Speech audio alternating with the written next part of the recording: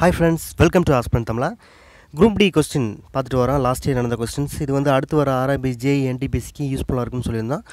So நேற்று வந்து இருபத்தி ஒம்பது கொஸ்டின் பார்த்துருந்தோம் இது வீடியோ பார்ட் டூ இன்றைக்கி கொஸ்டின் நம்பர் தேர்ட்டில் ஸ்டார்ட் பண்ணுறோம் ஸோ எண்ணூறு கிலோகிராம் எடை கொண்ட கார் ஒன்று மணிக்கு தொண்ணூறு கிலோமீட்டர் வேகத்தில் சென்று கொண்டிருக்கிறது. அதன் பிரேக்கை பயன்படுத்திய பின்பு நிற்பதற்கு ஐந்து வினாடிகள் ஆகின்றது. அப்படியானால் பிரேக் பயன்படுத்தும் விசையின் அளவு எவ்வளோ அப்படின்னு எத்தனை நியூட்டன் அப்படின்னு கேட்குறாங்க இது வந்து ஒரு ஃபிசிக்ஸ் கேள்வி ஓகே அப்போ அது வந்து ஃபிசிக்ஸில் வந்துட்டு அந்த ஃபோர்ஸ் டைப்பான அந்த ஈக்குவேஷன்ஸ் எல்லாம் இருக்குது பார்த்தீங்களா அதாவது force equal to M into A mass into acceleration so இந்த ஈக்குவேஷன்ஸ்லாம் தெரிஞ்சால் அந்த ஃபிசிக்ஸில் கொஞ்சம் கொஞ்சம் கொஸ்டின்லாம் அட்டன் பண்ணலாம்.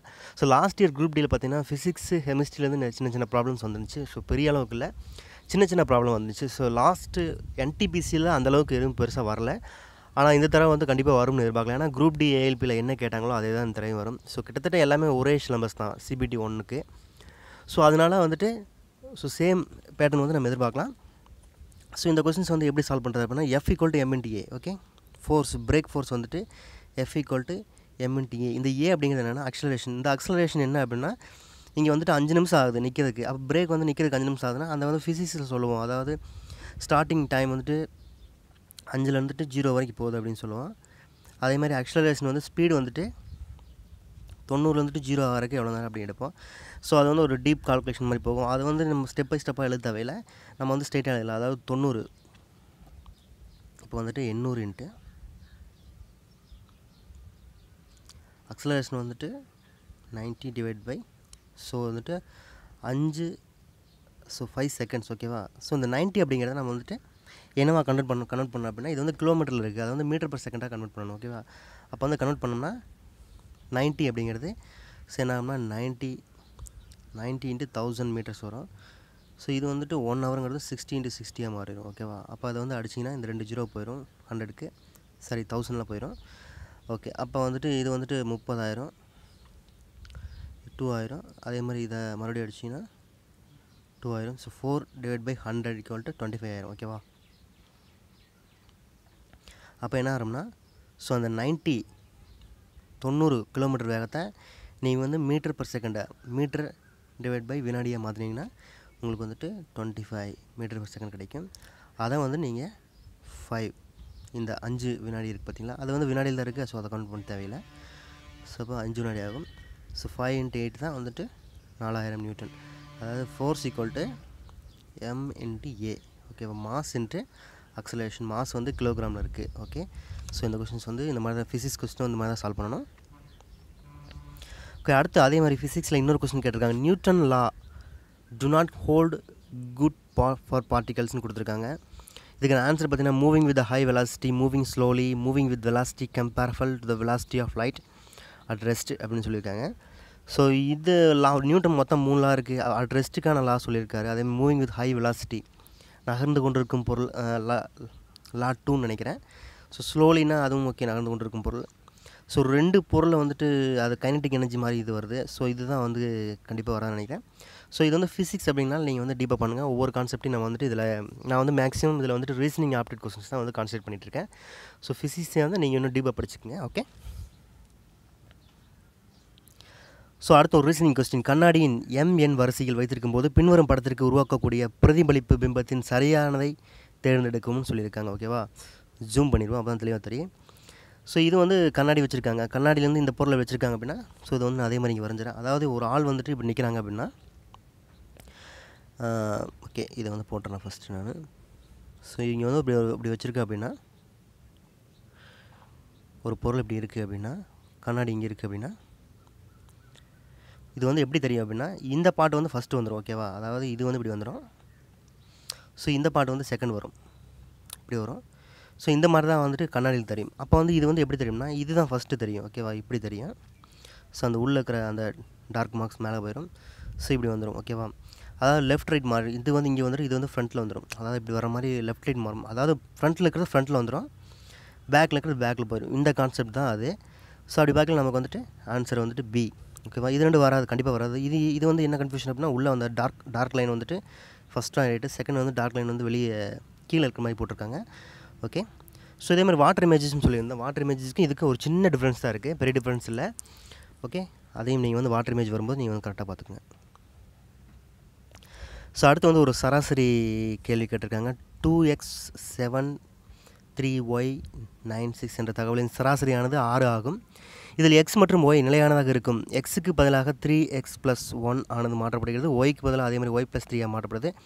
அப்போ வந்து சராசரி வந்து ரெண்டாக மாறுது ஓகே ரெண்டாக அதிகரிக்குது ஆக்சுவலாக இதில் சம் கரெக்ஷன் இருக்குது இங்கிலீஷ் கொஸ்டினில் கரெக்டாக இருக்குது அப்படி என்றால் எக்ஸின் மதிப்பு எவ்வளோ என்று கண்டுபிடிக்கவும் ஓகேவா அப்போ வந்து ஃபஸ்ட்டு வந்து நான் இது வந்துட்டு மொத்தம் ஆறு எத்தனை நம்பர் கண்டுபிடிக்கிறேன்? ஒன்று ரெண்டு மூணு அஞ்சு ஆறு. மொத்தம் ஏழு நம்பரு ஓகே அப்போ ஏழு நம்பருக்கான சராசரி வந்து forty two okay forty two இதில் வந்து எக்ஸ் ப்ளஸ் ஒய் எழுதிக்கிறேன். அப்புறம் மீதி நம்பரையெல்லாம் கூட்டி எழுதிக்கிறேன். ஓகேவா அப்போ கூட்டும்போது two plus seven nine nine plus three twelve twelve plus nine twenty one twenty one plus six twenty seven அப்போ என்ன பண்ணுவோம்? இந்த டுவெண்ட்டி செவனை அப்படி பின்னாடி எழுதிடுவோம் இல்லையா?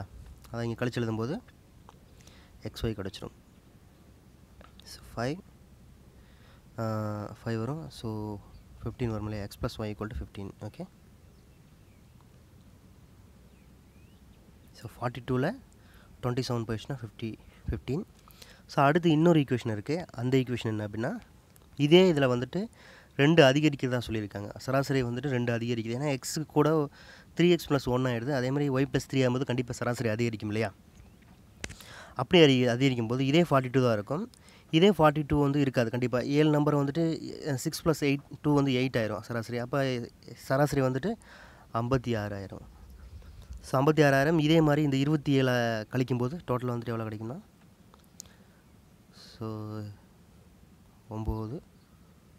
இங்கே வந்துட்டு என்ன ஆகும்னா five five three percent twenty nine வரும். ஓகே ஸோ டுவெண்ட்டி நைன் இங்கே வந்து three X plus one plus Y plus three அப்படிங்கும்போது என்ன கிடைக்கும்னா three X plus Y plus ஒரு ஃபோர் எக்ஸ்ட்ரா ஏன்னா இந்த X plus three X plus ஒன்று அதே மாதிரி இங்கே ஒரு த்ரீ ஃபோர் ஆயிரும்.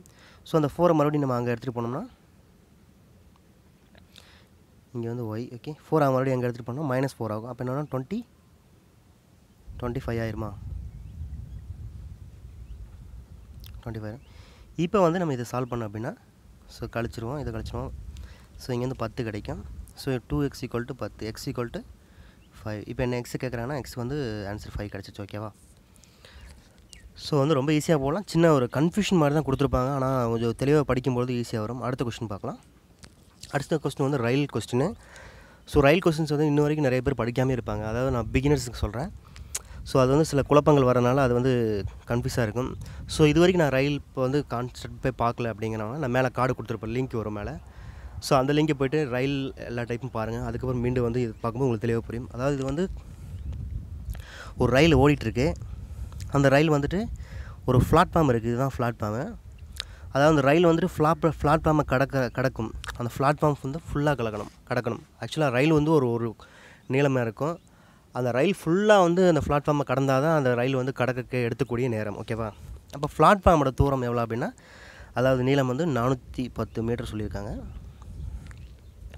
ஸோ அதே மாதிரி ரயில் வந்துட்டு இப்படி ஸ்டார்ட் ஆகும் ஓகேவா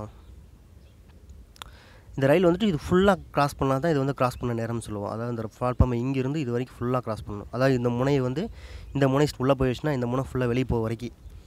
அப்படி பண்ணும்போது இந்த ரயிலோட லென்த்தும் வந்து ஆட் ஆகும் இல்லையா? அந்த லென்த் வந்து பிளாட்ஃபார்ம் லென்த்தும் அந்த ரயிலோட லென்த்து ரெண்டையுமே கடக்க வேண்டியதாக இருக்கும். பேசிக் கான்செப்ட் படி அப்படி தான் வரும்.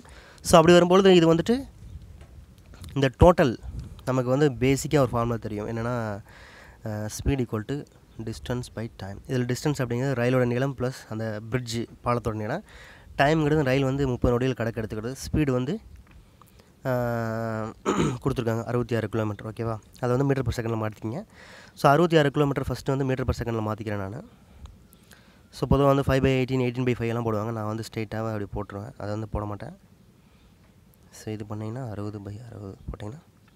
ஸோ இந்த ரெண்டு ஜீரோ போயிடும் ஓகே ஸோ இது வந்து என்ன வரும் அப்படின்னா சாரி கிலோமீட்டர் மணிக்கு இரு ஓகே மணிக்குனா ஓகே செகண்ட் மீட்டர் பர் செகண்டில் மாத்திரம் ஸோ அறுபத் அறுபத்தி ஆறுனா ஒரு அறுபத்தி ஆறு போயிடும் பதினொன்று ஸோ இது வந்துட்டு five three fifty by divide by three வரும் ஓகேவா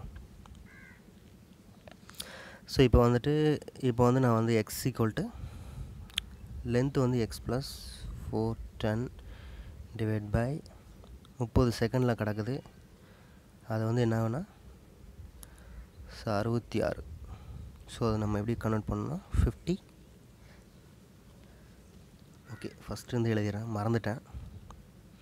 Sixty divide by sorry sixty six divide by sixty into sixty seconds into thousand okay so இங்கே வந்துட்டு மேலே வந்துட்டு இதை அடிச்சிங்கன்னா டேரெக்டாக டூ ஆயிரும். ஸோ மேலே வந்துட்டு அதேமாதிரி இங்கே டுவெண்ட்டி பண்ணிட்டோம்னா இதை வந்துட்டு இப்போ லெவன் ஆயிரும். ஓகே ஸோ லெவன் ஆயிரும். மேலே போயிட்டிங்கன்னா இந்த தௌசண்டை வந்து டுவெண்ட்டியில் அடிச்சிங்கன்னா ஃபிஃப்டி ஆயிரும். ஃபைவ் ஃபிஃப்டி ஆயிரும். ஸோ எக்ஸ் வந்து ஃபைவ் ஃபிஃப்டிலேருந்து ஃபோர் டென்னை கழிச்சிங்கன்னா ஆன்சர் வந்துடும் ஓகேவா என்ன வருதுன்னா ஒன் ஃபார்ட்டி வருது. ஓகேவா ரொம்ப ஈஸியாக போட்டலாம் இது ஒரு பேசிக்கான time and sorry train problem ஓகேவா ஸோ அடுத்த கொஸ்டின் வந்து முப்பத்தி அஞ்சு. பாலைவன தாவரங்கள் டேஸ் என்று அழைக்கப்படும் ஒரு அடர்த்தியான மெழுகு போன்ற பூச்சி மேற்தோள்கள் காணப்படுகிறது. கியோட்டின் அப்படின்னு நான் வந்து சயின்ஸில் படிச்சிருப்போம். இது வந்து ஒரு பேசிக்கான ஈஸியான கொஸ்டின் அடுத்த கொஸ்டின் கொடுத்துருக்காங்க. பதினாறு மீட்டர் நீளமும் பத்து மீட்டர் அகலம் உள்ள ஒரு ஹாலில் தரையை கட்டுவதற்கு செங்கல் வச்சு வச்சு கட்டுறாங்க. அதாவது இப்படி வந்துட்டு ஹால் இருக்குது ஓகே இந்த மாதிரி ஒரு ஹால் அடித்தளம் இருக்குது பதினாறு மீட்டர் நீளம் பத்து மீட்டர் அகலம் இருக்குது இதில் வந்து இப்படி ஒவ்வொரு செங்கலாக வச்சு வந்து ஃபில் பண்ணிட்டு வராங்க அது மாதிரி ஃபில் பண்ணிட்டு வரையில் இது வந்து எத்தனை செங்கல் பிடிக்கும்னு சொல்லியிருக்காங்க. செங்கல் வந்துட்டு செங்கலோட அளவும் சொல்லியிருக்காங்க. இருபது சென்டிமீட்டர் பத்து சென்டிமீட்டர் அப்படிங்கிறது அதோட நீள அகலம். ஓகே ஸோ இங்கே நீள அகலம் தான் மேட்ரு. ஸோ அப்படிங்களா நம்ம வந்து என்ன வரும்னா பொதுவாக வந்துட்டு இது வகுத்துட்டாவே வந்துடும் அதாவது மீட்டர் இது வந்து சென்டிமீட்டரில் இருக்குது இது வந்து மீட்டரில் இருக்குது அப்போ வந்துட்டு இங்கே கீழே என்ன கொடுத்துருக்காங்கன்னா எத்தனை தேவைப்படும் கொடுத்துருக்காங்க. செங்கல் தான் தேவைப்படும் சொல்லியிருக்காங்க. அப்போ வந்துட்டு பதினாறு இன்ட்டு பத்து நூற்றி அறுபது. இது வந்து நூற்றி அறுபது அப்படிங்கிறது ரெண்டு மீட்டர் அதாவது பதினாறு மீட்டர் பத்து மீட்டர் அப்படிங்கிறது மீண்டும் வந்துட்டு நம்ம அதை சென்டிமீட்டராக வந்து கன்வெர்ட் பண்ணுறதுக்காக நூறு இன்ட்டு நூறு ஒவ்வொன்றுக்கும் ஒரு நூறு போடணும். ஸோ இங்கே வந்து டுவெண்ட்டி இன்ட்டு ஹண்ட் டென் போட்டிங்கன்னா முடிஞ்சிச்சு. அதாவது இதை வகுத்திங்கன்னா எவ்வளோ செங்கல் தேவைப்படும் தெரியும் ஓகேவா ஸோ டென் அப்படிங்கிற இது போயிடும் ஸோ டுவெண்ட்டி அப்படிங்கிற இது வந்து எட்டாயிரம் ஓகேவா ஸோ இதை மிஸ்டேக் பண்ணிவிட்டேன் நினைக்கிறேன். டுவெண்ட்டி ஓகே எட்டு ஓகே இங்கே வந்து டுவெண்ட்டியால் பார்க்கும் இங்கே எட்டு வந்துடும் ஸோ இங்கே ஒரு ஜீரோ போயிடும் அப்போ வந்து ஹண்ட்ரட் இருக்கும். ஸோ தௌசண்ட் இருக்கும் எயிட் தௌசண்ட் சரியா? இந்திய மாநிலத்தில் எது அரசு வேலைக்காக அனாதைகளுக்கு ஒரு சதவிகித இடஒதுக்கீடு செய்தது? இது வந்து ஒரு கரண்ட் அஃபேர்ஸ் அப்போதைக்கு ஏற்பட்ட ஒரு நடப்பு நிகழ்வுன்னு சொல்ல முடியாது. தமிழா? மகாராஷ்டிரா. அப்போ கேட்டது ஸோ இப்போ இந்த கொஸ்டின்ஸ் தேவையில்லை. நீங்கள் இப்போதைக்கு இருக்க கரண்ட் அஃபேர்ஸ் நீங்கள் படித்தா போதும். எக்ஸாமுக்கு முன்னாடி last five to six months வந்து நீங்கள் ரயில்வேக்கு முக்கியமான கரண்ட் அஃபேர்ஸ் மட்டும் படித்த போதும். சிலபஸில் கொடுத்துருப்பாங்க. ஸ்போர்ட்ஸ் பர்சன்ஸ் கவர்மெண்டோட அறிக்கைகள் இந்த மாதிரி கொடுத்துருப்பாங்க. பேங்க் எக்ஸாமுக்கு மாதிரி நீங்கள் ஒவ்வொரு ஸ்டெப்பாக படிக்க தேவையில்லை. ஸோ பேங்க் எக்ஸாம் படிக்கிறவங்க அதை படிச்சிருந்தாவே இது போதுமானதுன்னு சொல்லலாம். அடுத்த கொஸ்டின் நம்பர் தேர்ட்டி என்ன சொல்லியிருக்காங்கன்னா கொடுக்கப்பட்டுள்ள கணக்கு படத்தில் காலியான இடத்தில் இது வந்து ஒரு அனாலஜி மாதிரி. ஸோ இது ஃபஸ்ட்டு ரெண்டு ஃபிகர் கம்பேர் பண்ணணும். ஓகேவா ஃபஸ்ட்டு வந்து சதுரத்துக்குள்ளே வட்டம் போட்டிருக்காங்க. அது அதே சதுரம் வந்துட்டு உள்ளே போயிடுச்சு வட்டம் வெளியே வந்துடுச்சு. ஸோ அதே மாதிரி தான் இங்கேயும். இங்கே வந்து பார்த்திங்கன்னா இப்படி போயிட்டு உள்ளே வந்து வந்துடும் ஸோ வெளியே அவுட்டர் வந்து டாட் டாட்டாக வரும் ஓகேவா அப்போ என்ன வரும்னா வெளியே சதுரம் வரும் டாட் டாட்டாக வரும். உள்ளே வந்துட்டு முக்கோணம் வரும் பி கேள்வி படங்களில் தொடர் நிறைவு செய்யும் விருப்ப தேர்வு படத்தை தேர்ந்தெடுக்கும் சொல்லியிருக்காங்க. ஸோ இந்த கொஸ்டின்ஸ் பார்த்தீங்கன்னா ரொம்ப ஈஸியாக இருக்கும். இதில் வந்து இந்த மார்க்கை வந்து நீங்கள் விட்டுறக்கூடாது. ஜஸ்ட் ஒரு சின்ன அனலைசிஸ் பண்ணி பாருங்கள் பண்ணிங்கன்னா தெரியும். அதாவது இங்கே என்ன சொல்லியிருக்காங்க இங்கே என்ன பண்ணியிருக்காங்கன்னா இந்த ஃபிகர் வந்துட்டு லெஃப்ட் சைடு போயிடுச்சு அதாவது இப்படி போய் வந்துருச்சு ஓகே அடுத்து என்ன ஆயிருக்குன்னு பார்ப்போம். அது வந்து இப்படி வந்துருச்சா? மீண்டும் என்ன ஆயிருக்குன்னா இந்த கூட்டல் குறி. இந்த கூட்டல் குறி வந்து இங்கே வந்து ஆட் ஆயிடுச்சு. ஸோ அடுத்து என்ன ஆகும்னா ஸோ மீண்டும் ஒரு கூட்டல் குறி வந்து ஆட் ஆகிக்கும் இல்லையா? அப்படி தான் வரும். ஸோ அது இருக்கான்னு செக் பண்ணி பார்ப்போம்.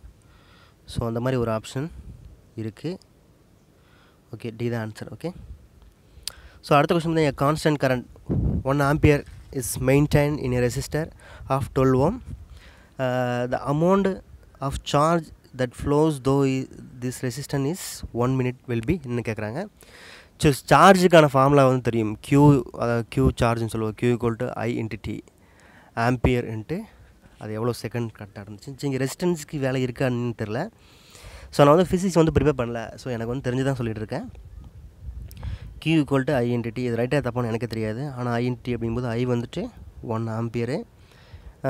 ஒன் மினிட்ஸ் அப்படிங்கிறனால ஸோ வந்து செகண்டு கன்வெர்ட் பண்ணணும் ஓகேவா ஏன்னா இது டி வந்து செகண்ட் தான்.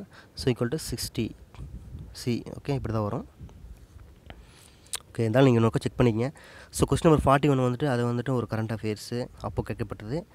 ஸோ இது வந்து ஒரு ஜியோகிராபி புவியிலேருந்து கேட்டது மாடலின் தீவுகள் எந்த நாட்டில் அமையப்பட்டிருக்குன்ட்டு ஸோ கனடாவில் தான் அது இருக்குது ஸோ இந்த மாதிரி ப்ரிப்பரேஷன் தேவைப்படுது. இரட்டை சிதைவு வினை ஏற்படும் போது வினை புரியும் வேதிப்பொருட்களின் மத்தியில் எது பரிமாறப்பொருள்கள் அயனிகள் தான் பரிமாறக்கூடும் சரியா? அது வந்து நமக்கு தெரிஞ்சுது. இரட்டை சிதைவு அப்படிங்கும்போது அந்த புரோக்கன் பண்ணும்போது அயனிகள் தான் வந்து பரிமாறிக்கும். இது வந்து நம்ம கெமிஸ்ட்ரியில் படிச்சிருப்போம். ஈஸியான கொஷின் தான். பிற இரண்டு வருடங்களை ஒப்பிடும்போது எந்த வருடத்தில் கடை சியின் விற்பனை குறைவாக உள்ளதுன்னு சொல்லியிருக்காங்க. கடை சியோட விற்பனை வந்துட்டு ஸோ இது ஏபிசி ஸோ இது ரெண்டுமே அதிகமாக இருக்குது மூணாவது வருஷம் தான் இருக்குது ஓகே அப்போ மூணாவது வரும் கரெக்டாக இருக்குது ரொம்ப ஈஸியாக இருக்குது இந்த கொஸ்டின்ஸ்லாம் ஸோ அடுத்து ஒரு சேலஞ்சிங்கான கொஸ்டின் வந்து காலண்டர் கொஸ்டின் ஓகேவா இந்த கொஸ்டின்ஸுக்கு வந்துட்டு ஓகே இது வந்து நம்ம வந்து ஆட் டேஸ் கண்டுபிடிக்கணும். ஸோ காலண்டர் இன்னும் பார்க்கல எனக்கு தெரியாது. எனக்கு கான்செப்ட் ஜீரோ ஐ எம் நில் அப்படின்னு அப்படின்னா நான் மேலே வந்து கார்டு கொடுத்துருக்கேன் காலண்டருக்கு அதில் போயிட்டு பாருங்கள் கொஸ்டின்ஸ் கொஸ்டின்ஸ் இங்கிலீஷில் தான் இருக்கும். ஜஸ்ட்டு வந்து உங்கள் அந்த டேட் நம்பர் தெரிஞ்சிருந்தால் போதும்.